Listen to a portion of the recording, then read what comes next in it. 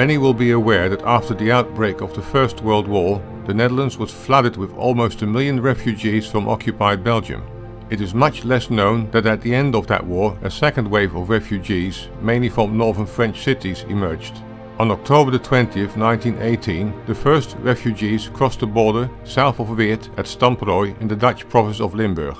After four years of World War and blockade, the increasing scarcity and the second wave of the Spanish flu that reached its peak in the autumn, the conditions in 1918 were considerably less favorable than four years earlier, when the Belgians had to be taken care of. The grueling journey of the French had begun weeks earlier.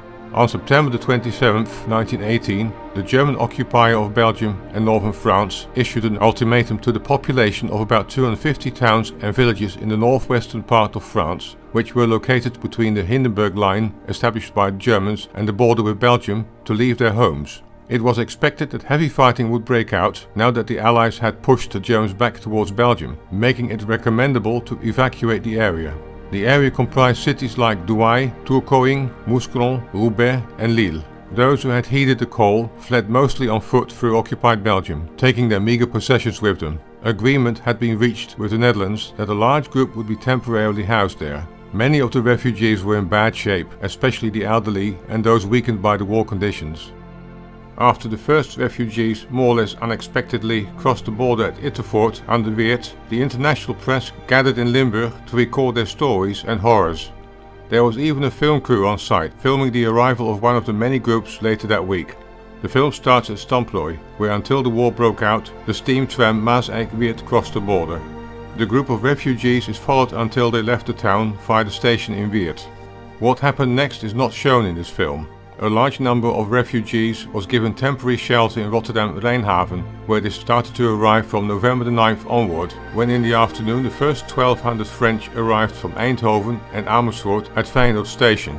On New Year's Eve 1919, the shelter in Rotterdam reached its peak with almost 4500 French and 34 Belgian refugees.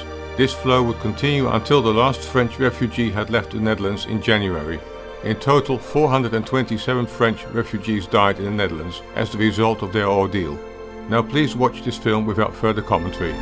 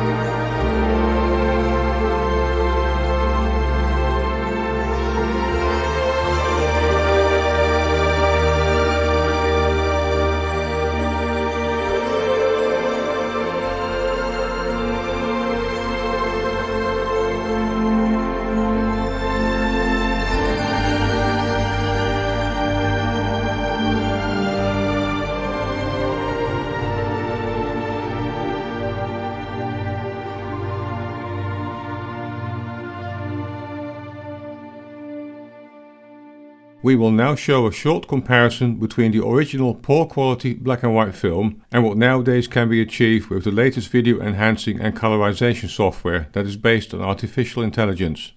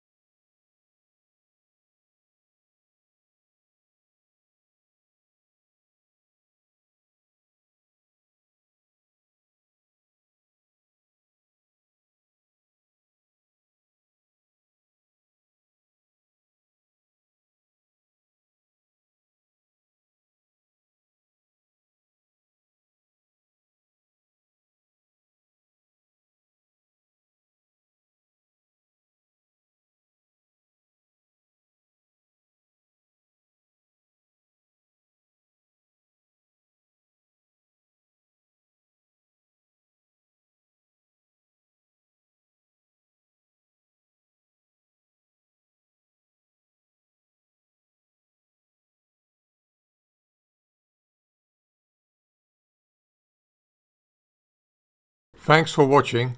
Don't forget to subscribe to my channel